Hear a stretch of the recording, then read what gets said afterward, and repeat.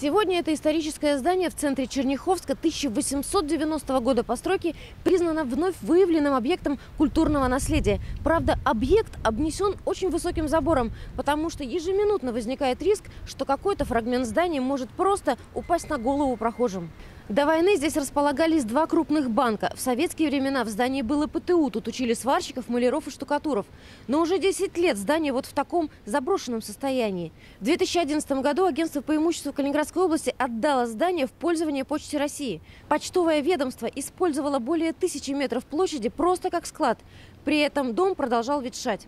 Сегодня здание в аварийном состоянии. На стенах трещины, из швов кладки выпадает раствор. Есть участки стен с потерей прочности. Они могут в любой момент обрушиться. Все возмущались, и жители города возмущались. Что такое? У нас таких зданий несколько, которые на, на виду у всех. Город-то небольшой, поэтому понятно. И жители обращались, и администрация обращалась неоднократно к, к почте России. Как же так?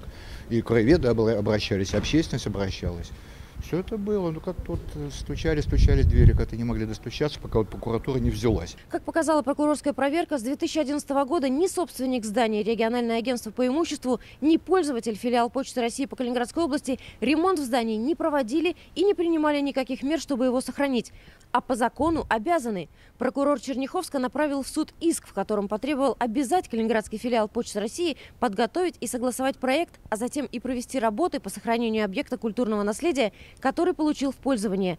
Суд требования прокурора удовлетворил. Как нам стало известно, Почта России сейчас готовит документы для проведения конкурса и поиска подрядчика для ремонта этого здания. Жители Черняховска надеются, что скоро у исторического здания начнется новая жизнь.